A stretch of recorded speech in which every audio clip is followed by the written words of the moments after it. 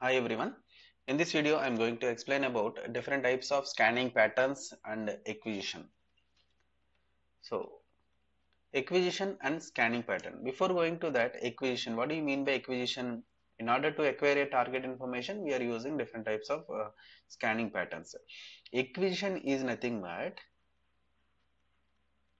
acquisition is nothing but acquiring the presence of the target acquiring the information related to target whether the target is located or not. Okay? So getting the information of the target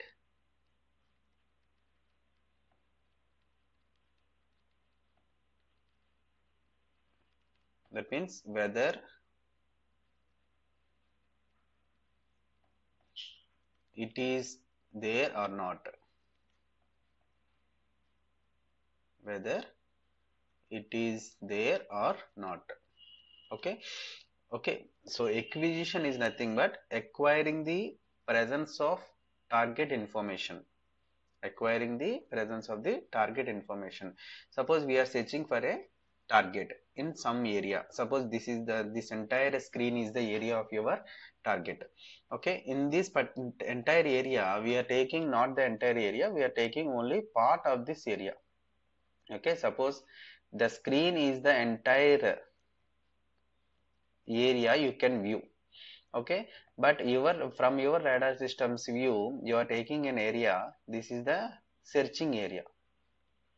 Okay? Or we can call it as scanning area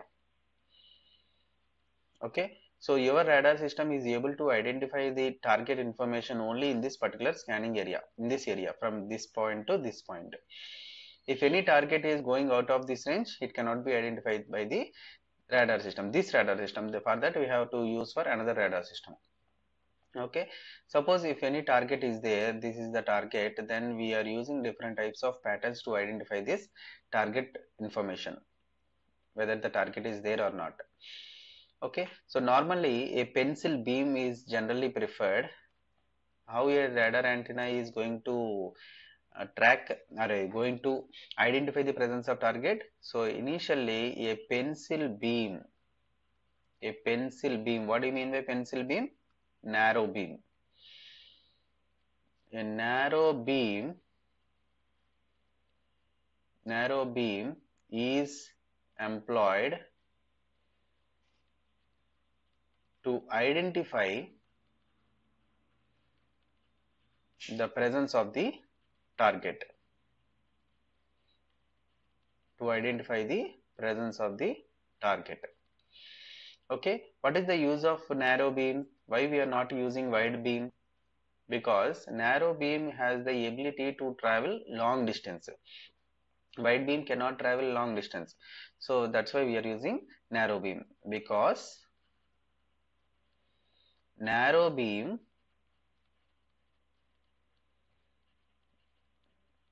Can travel. Can travel long distance. Okay that's why we are using narrow beam instead of wide beam.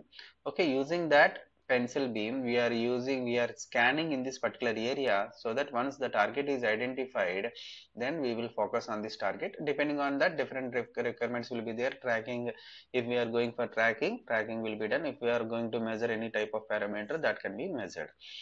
Okay? So for this identification we are using pencil beam but we cannot focus at a single place. We have to rotate the antenna plate in the entire scanning area okay suppose i am transmitting a pencil beam here.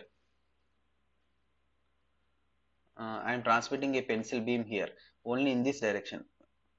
Okay only the target identified can be identified only in this particular location. But we need to scan in the entire box. So what we need to do we need to rotate the antenna plate in any manner to identify the target. So we need to rotate in this way or in this way or something like that. Definitely we should get information related to the target in the entire area of the vicinity of the radar system. So for that different types of scanning patterns are going to be used. Hope you understand what is the mean what is the difference between uh, acquisition and scanning patterns. Scanning patterns are used to identify the presence of target nothing but acquisition. Acquisition is possible with different types of scanning patterns otherwise i will write here acquisition acquisition is possible.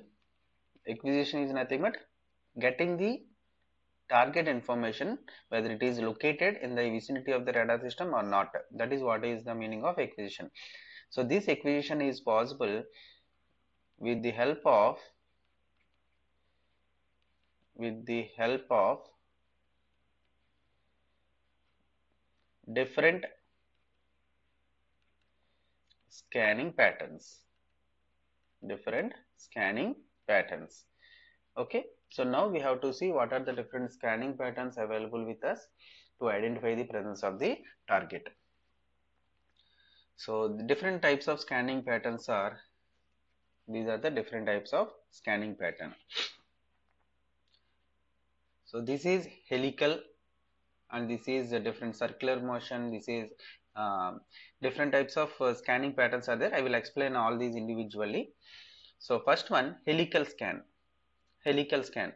So helical scan is nothing but which starts at this point and increases its beam in a circular fashion like this. That means the pencil beam will be going in this upward direction. Okay that means in the helical scan increases its uh, pencil beam direction like elevational angle. Okay the beam will be rotated in the, the scanning pattern will be rotated in the circular shape circular shape and that is nothing but helical shape to cover the particular area. Next one is Palmer scan. In the Palmer scan see here this is the Palmer scan here also the antenna plate will be rotating. The pencil beam is rotating in this uh, uh, helical shape. But what is the difference between the previous one and this one? Previously we have rotated that in the the plate actually rotates in the azimuthal direction and the beam is going in the elevational direction. But here in the Palmer direction in the Palmer scan the plate is rotating in the elevational direction and the beam is going in the azimuthal direction. Hope you understand the difference between the Palmer scan and helical scan. Helical scan is the beam is going in the vertical shape nothing but helical way. So in order to generate that beam what is the direction that the plate has to rotate? The plate has to rotate in the azimuthal direction. But whereas in the Palmer scan the antenna plate has to rotate in the um, azimuthal uh, what is that? Elevational direction and the beam is going in the horizontal direction nothing but azimuthal direction. See here the beam will be rotating. This movement this movement in the top to bottom from here to here we can say it is elevational motion. Okay? Elevational motion and as well as this movement is nothing but azimuthal. Okay? Both the movements are there so in Palmer scan a rapid circular scan conical scan about the axis of antenna is combined with a linear movement of the axis of the rotation. See the antenna suppose here it is the antenna plate that has to rotate like this and again like this again like this like this like this we had it has to rotate. Okay? Both if you observe particularly both the movements are there elevational and as well as azimuthal this is Palmer scan Next one is spiral scan. In the spiral scan, we are starting at one point and increasing our area slowly. So the scan which covers an angular search volume with a circular symmetry is known as spiral scan. These are used in fire control. Generally, different applications are there for different uh, scanning patterns. Especially this spiral scan is used in the fire control tracking radars to assist the assist uh, acquisition of the target. See here what is the different pattern we have? Uh, in the previous uh, two the pattern is rotated the antenna plate is rotating in a one circular fashion. Here also the antenna is going to rotate in a circular but here it starts at one point and slowly increasing its volume. Okay first initially it occupies this is the amount of volume later this is the amount of volume later this one later this one. So as the time goes on it increases its volume. Again coming back to the normal position and slowly uh, doing the same operation again. Okay? Uh, spiral scan is used to cover more area among the different patterns where the scanning pattern starts at the center and slowly increases its pattern like this. That's why it is spiral scan. It's like a spiral scan. The names of these uh, different patterns are given based on the shapes that are being emitted. So next one is raster or tv scan. So raster scan which paints the search area in a uniform manner is known as raster scan. Generally, normally how we are doing painting, how we paint a wall, the same way it is working. Okay, this is one of the simplest scan pattern. It also provides convenience to search a limited sector rectangular in shape. See here. Normally, if you take a paint brush, if you take a paint brush, how you will do a painting on the wall? so you will you will paint like this. The same way how the raster scan is there. Okay once this particular area is completed again you will go to the next area like this.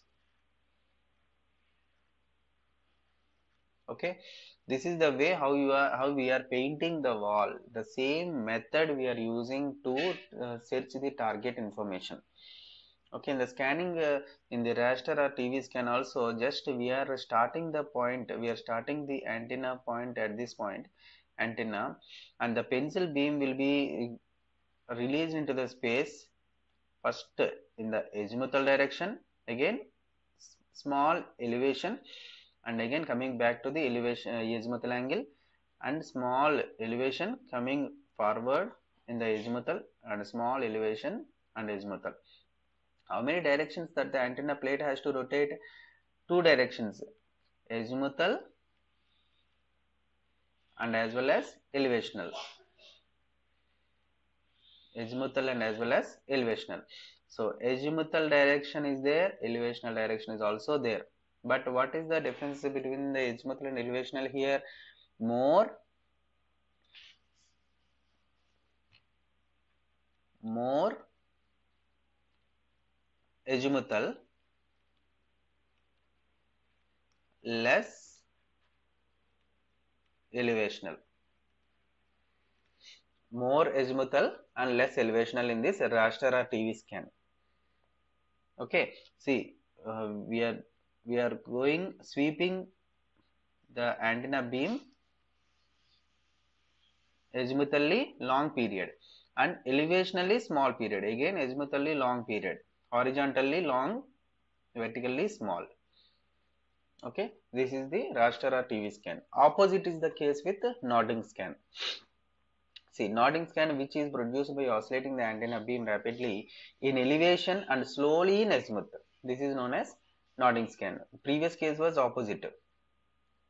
Okay? Rapidly in azimuthal slowly in elevation this scan covers the elevation angle up to 90 degrees and azimuth angle extending up to 360 degrees. See here. Elevational, elevational is nothing but in the vertical direction. The elevational nothing but in the going upward and going downward. That means 90 degrees in there.